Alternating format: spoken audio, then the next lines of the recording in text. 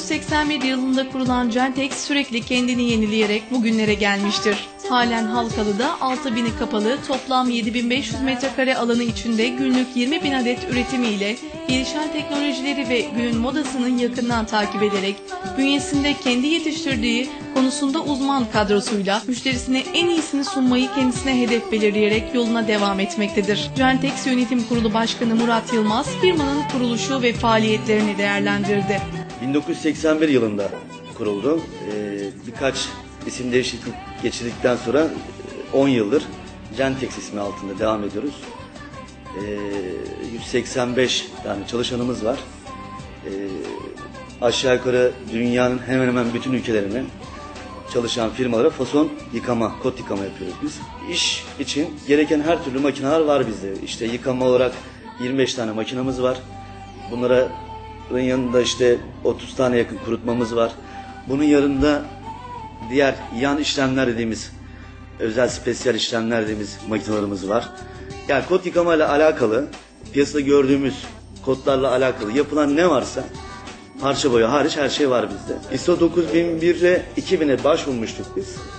Ee, bizim başvurduğumuz dönem ISO 9001'e 2008 çıktı.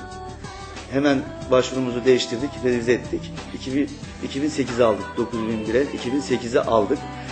Ee, bunun haricinde bir Hüvnort denetleme firmasından e, kalite belgesi aldık. E, artı dünyada çok tanınan bir marka vardır H&M diye. E, H&M'in de Kodak Kondak diye bir denetleme sistemi vardır. Onun okeyini aldık biz.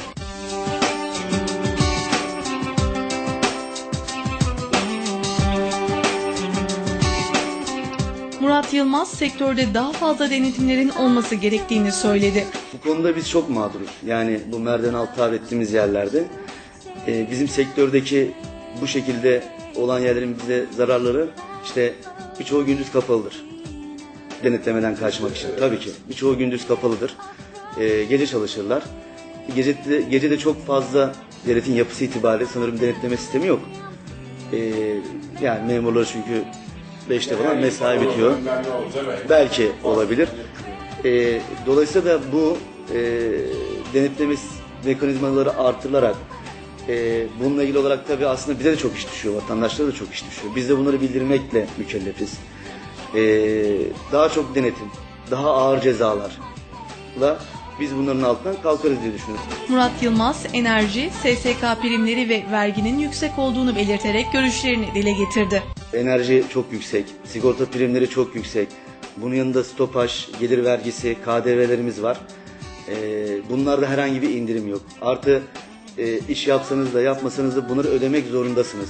Belirli aralıklarla bir takım taksitlendirmeler çıkarıyor hükümetler. İşte hani size yardımcı olmak anlamında ama sonuçta bunu da ödüyorsunuz bir şekilde. Dediğim gibi yani enerjide, e, sigorta primlerinde, e, devletin almış olduğu vergilerde bir takım indirimler, bir takım teşvikler e, olursa para istemiyoruz biz. Yani bize yardım versin, bize kredi versin istemiyoruz. Biz bunları istemiyoruz.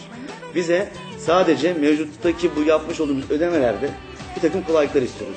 2011'de eğer bu 2010'daki gibi böyle krizler yaşamazsak, işte pamukta, kurlarda, devlet politikalarında e, yurt dışına fuarlara katılıp yurt dışından firmalarla bağlantıya gireceğiz. Bye.